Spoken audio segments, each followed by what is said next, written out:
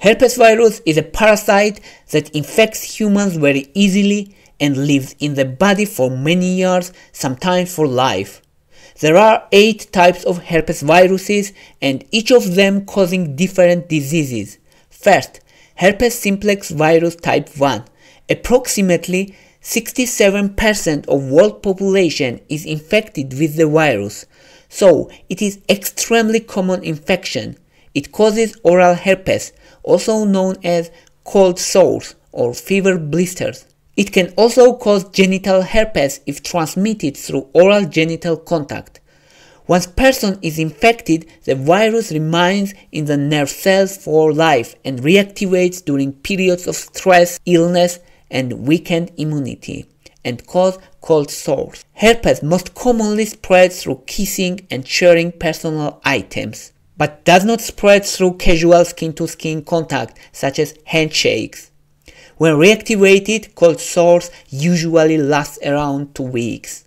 The treatment for herpes virus 1 involves antiviral medications like acyclovir, valacyclovir, and famciclovir. Both creams and oral forms are used, although topical creams are less potent.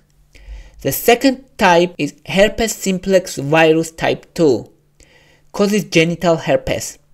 It also causes sores and blisters but in genital area.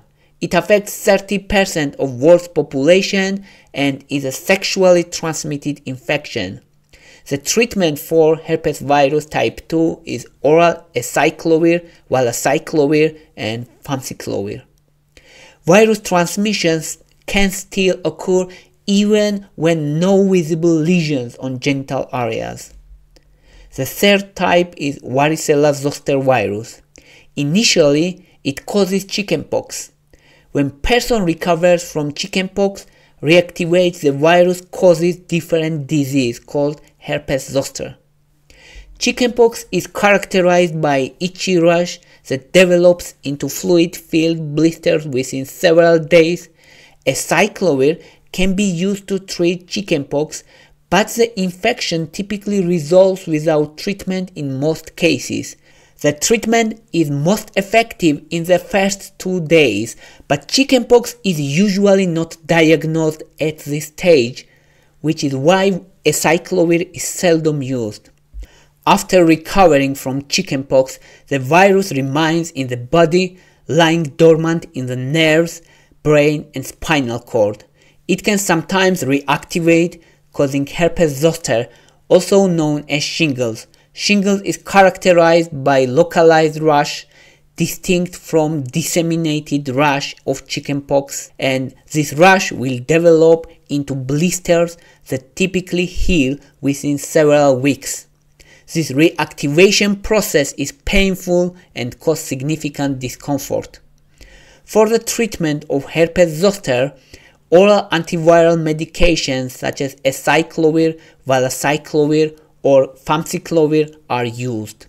Capsaicin containing creams may be effective in managing symptoms alongside pain medication. 4. The Epstein-Barr virus.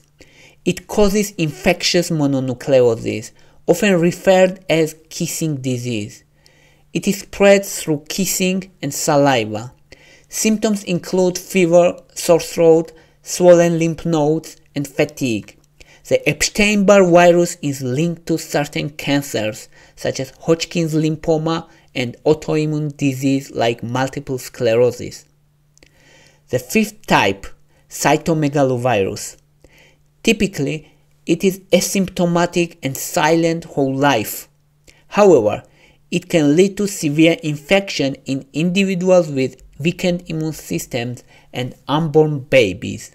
Human herpes virus 6 is known to cause roseola, a common childhood disease characterized by high fever and rash. It is sometimes associated with encephalitis and multiple sclerosis. And 7. Herpes virus type 7 can cause symptoms like roseola in children. And lastly, herpes virus 8 is associated with Kaposi's sarcoma, a type of cancer that affects the lining of blood and lymph vessels.